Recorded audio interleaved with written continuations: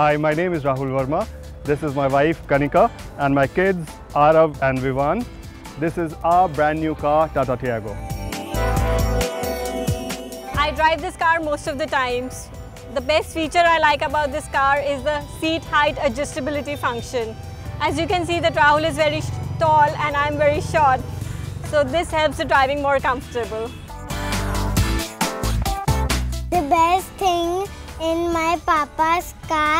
Is the music system. It is so loud.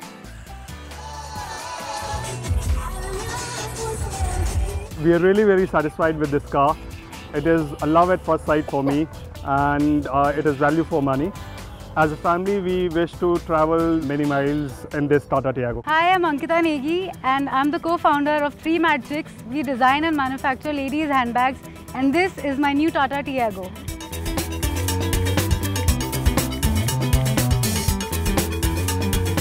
My family and I believe in Make in India and we wanted an Indian brand that met international standards and Tata Tiago was exactly that. Being a designer, I wanted a car that was trendy and I love the front hexagonal grille of the car and the 3D lights. It looks like the car is smiling.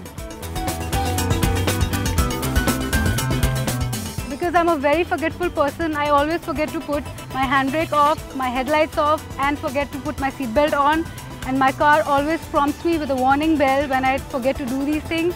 I love the safety warnings in my car. I'm glad I bought Tata Tiago as my first car. It's zippy, comfortable, stylish and everything that I ever wanted in a car.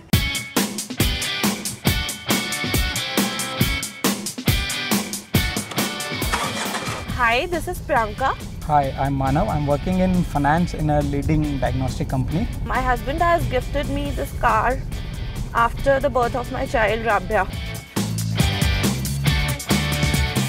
I chose this because uh, it was a uh, complete value for money package, having all the features which are available only in the high-end cars.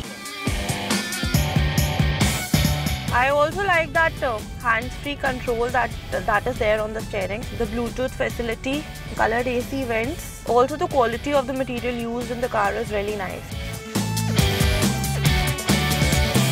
As we both have different taste in music, so we have downloaded the Juke Car app which helps us create a playlist and we can listen to the songs of our choice.